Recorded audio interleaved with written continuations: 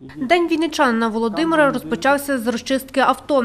Каже, при таких морозах на розігрівання машини йде багато часу, сил та нервів. Ну і самі бачите, що вікна закидані снігом, і дворники, напевно, замерзли. Їх треба освободити від снігу обов'язково. А ще треба відкрити замок. Я не знаю, чи він відкриється зовсім. На це часу півгодинки як мінімум.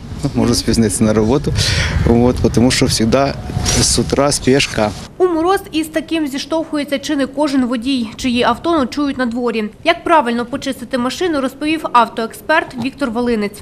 В первую очередь, э, при- имея при наличии там каких средств, как размораживатели, э, присадки типа ВД-40, необходимо произвести ме- методично какое-то условие разогрева. Использовать ВД-40 смазки до э, холодов, а желательно даже и во, и во время.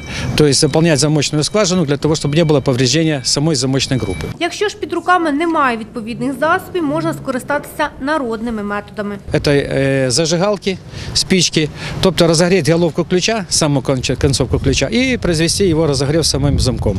Но это тот исключительный случай, когда других вариантов просто нет. Втім, це лише половина роботи. Далі водій повинен автівку завести.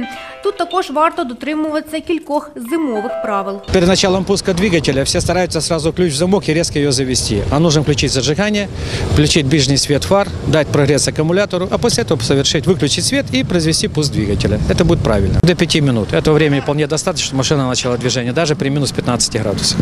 А ще експерти радять підготувати машину до зими заздалегідь, перевірити стан акумулятора, свічок запалювання, пересвідчитися у наявності пального та моторного масла.